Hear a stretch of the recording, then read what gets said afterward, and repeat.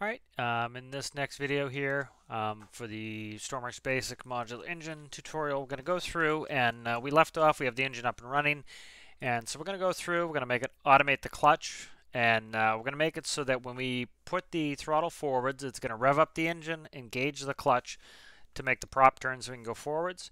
When we bring the throttle back to idle, it will disengage the clutch and um, have our engine go down idle uh, when we bring the throttle into reverse, it's going to rev up the engine, engage the clutch, and switch the gearbox to reverse. So let's go into our microcontroller. I'm going to name this microcontroller now. We'll do it um, Stormworks Basics uh, Modular Tutorial. Okay. So um, we're going to need to add a gear in there for reverse. So we'll go logic, add a node, put the node there. Uh, it'll be an output boolean on off, and that's going to be gear. All right. So let's go over here. We'll start. We'll have that.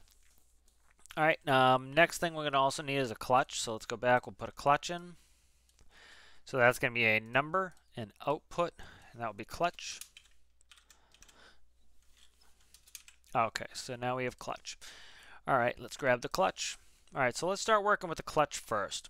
All right, so we want to make this clutch automated. So for those, you know, so we talked a little bit about how, how a clutch works. It takes the power from the engine and it transfers it slowly to the output shaft to whatever you're driving, a wheel or a propeller.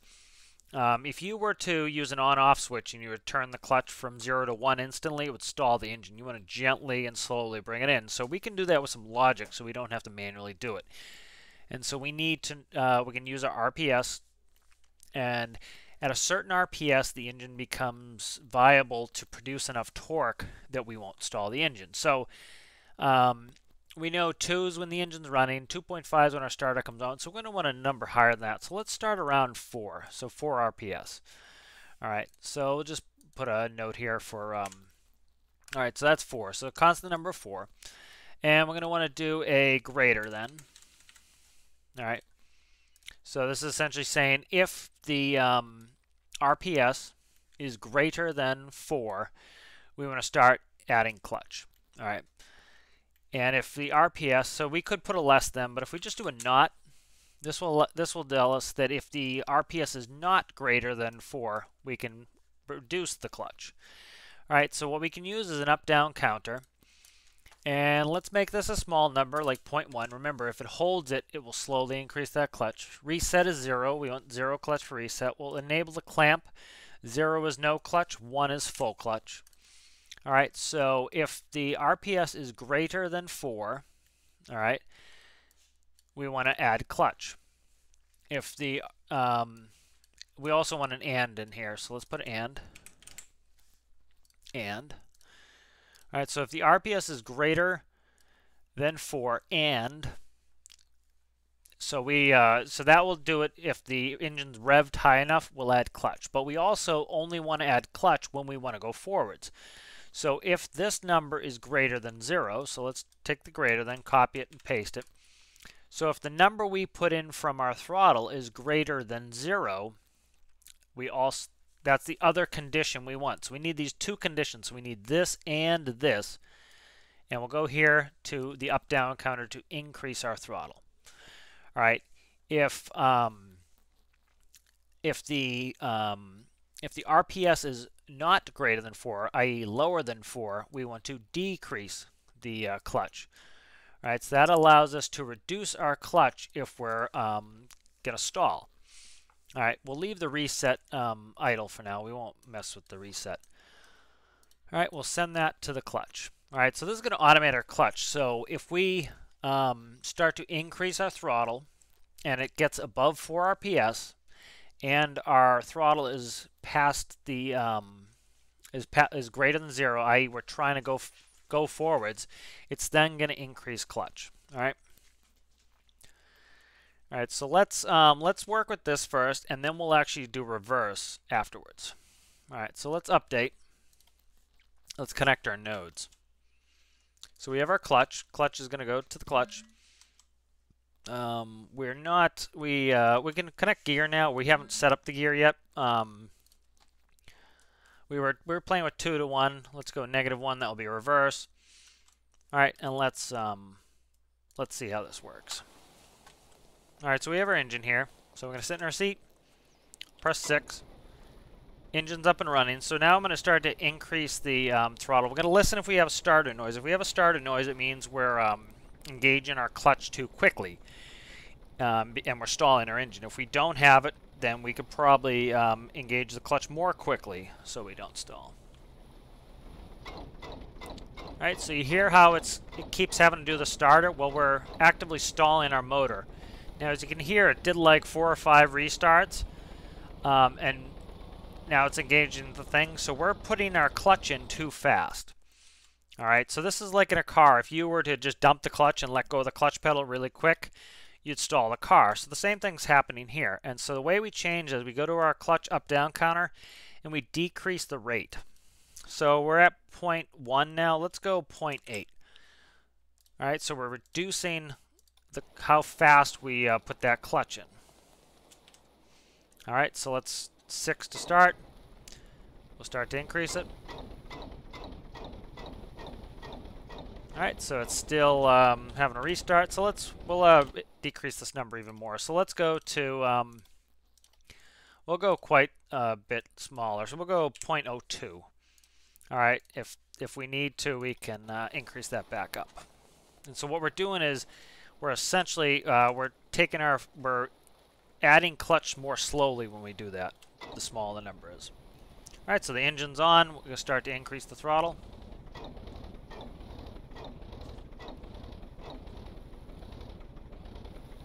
All right, So as you can see, it's adding the, um, it's automatically adding the clutch, and it's um, turning the propeller. If I hit uh, 3, which is idle, it's going to automatically idle the engine. Let's make sure it, um, it still has the clutch engaged, which it shouldn't if we hit 3. So we need to fix that. So when I go to idle, it should uh, idle the clutch. So let's look at that and also see why it's doing that. So we're still uh, we're still putting the clutch in too quickly. So let's go point zero. All right, so we we need to see why um, our clutch is not zeroing. Um, so let's do when we idle, we want that to reset our clutch. All right. Let's try that now. So we did two things. We slowed down the clutch application, and we also, when we are at, when we hit our idle, it will um, zero our clutch. Let's jump our seat. Six. All right, let's listen and see if we hear the clutch, the uh, engine restart noise as we're applying clutch.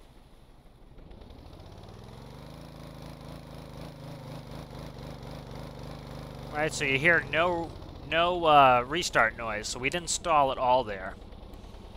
Alright, so we can actually probably uh, put in the clutch even faster. So now let's hit idle, 3 key. Alright, and that clutch zero, it is. Okay, good.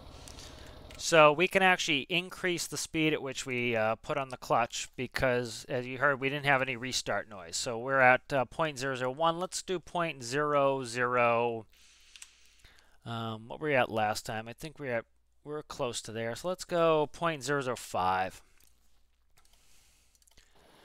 Now remember, it's trying to, it's holding that button, so it's putting it in more quickly. So let's hit 6. Let's add in our throttle. Okay, so here we had one restart, so that's putting in the clutch too fast.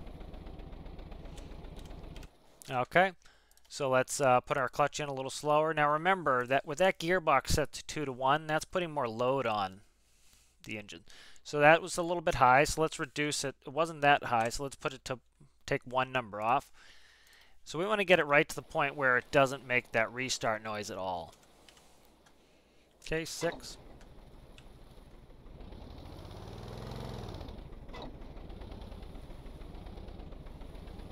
Okay, so there it is. It's applying it. We got one restart noise. I'll reduce it again, but um, let's start working on the the reverse. So we hit 3 to idle it. Let's go back in the workbench. So I'm going to reduce that number even further.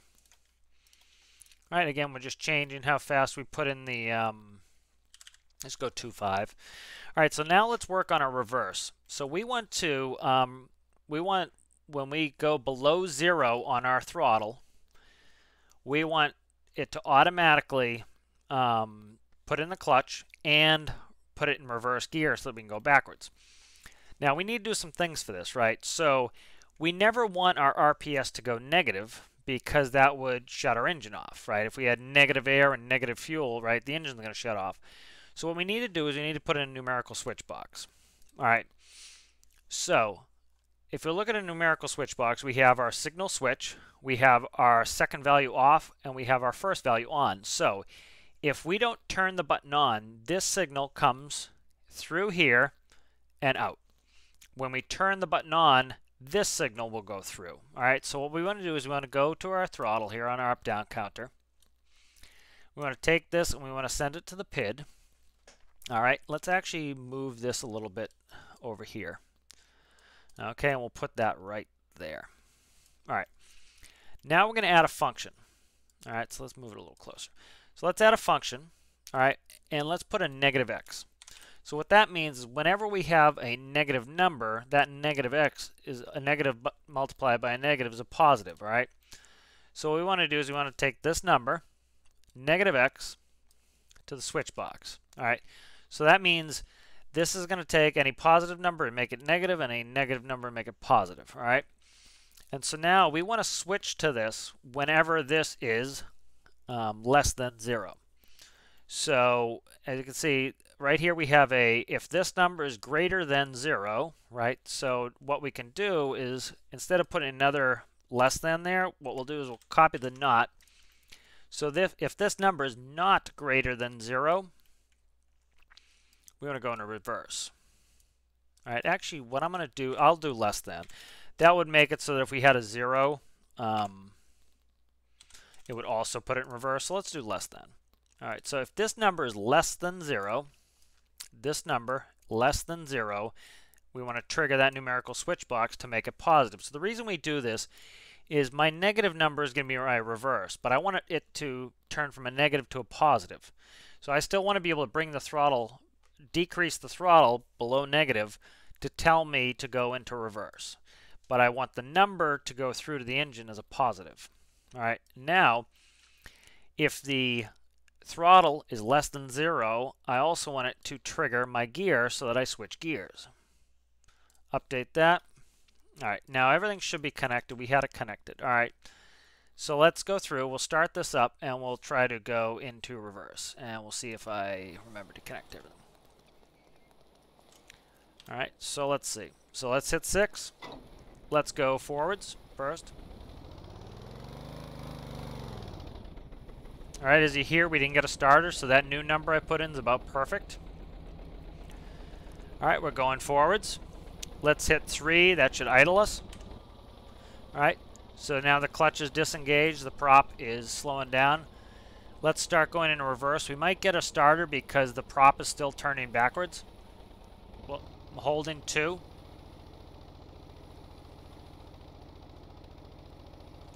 All right. So let me uh, jump off and check it.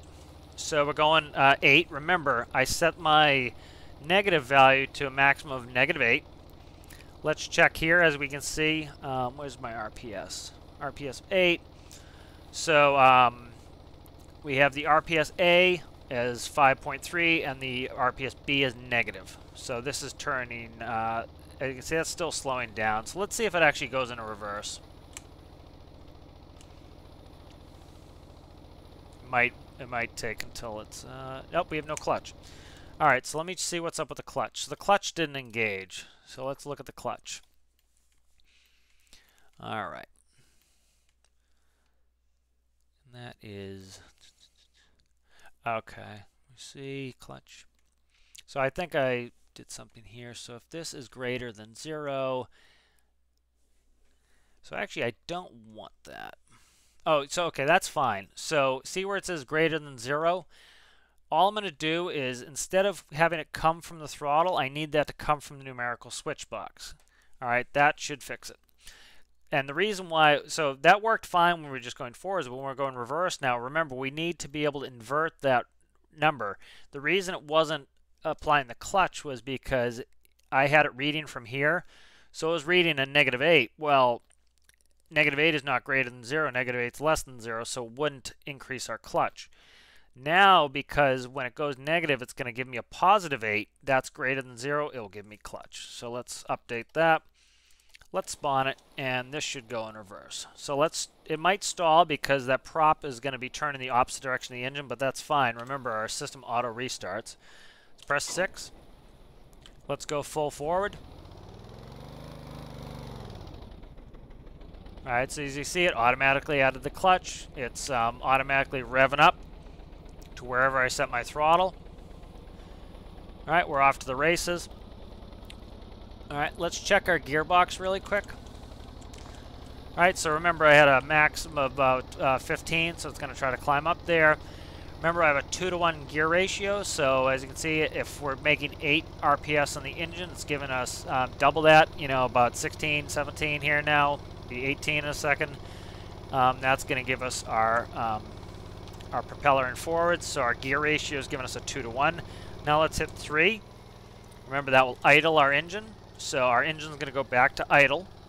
As you can see, it's slowing down idle. Our clutch should be zero. It is. Our gearbox is still false because we're not negative. Now, let's reduce our throttle backwards, and we should um, get automatic clutch. Our RPS should go up. This gearbox should go true, putting us in reverse, and the propeller should go the other way. All right, so let's reduce it with the 2 key. So it's going to stall because the engine's trying to fight the prop, but now we should see the prop go backwards. And there we go. Prop is going backwards. Alright, so this should go up to a maximum of 8 RPS. Alright, and now we're in reverse. Now remember, our gearbox is set to 1, negative 1. Right, so we have a... Um, all right, our limiter sets us at a maximum of 8 RPS. We're at 7.5. Clutch is at 100%.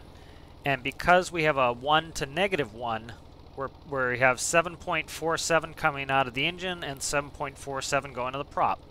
Now this is good for Stormworks because going backwards in a boat is often, you know, you have a nice, you know, flat back to the boat. It's going to pick the uh, stern up. So um, so now we have pretty much a, an engine that runs like a real boat would. You put the throttle forwards, it automatically revs the engine up, it automatically adds the clutch in, it automatically keeps the gear ratio where you want it. When you go to zero, it's going to, uh, when you hit three, it's automatically going to idle it. It's going to put the clutch to zero. And when we go um, reverse with the throttle, it's automatically going to rev the engine, add the clutch, and put the gearbox in reverse. Alright, so I'll uh, see you guys in the next video. Next video, we're going to start working on um, the modular engine fluid pump for the cooling, and we will work on the alternator. See you then.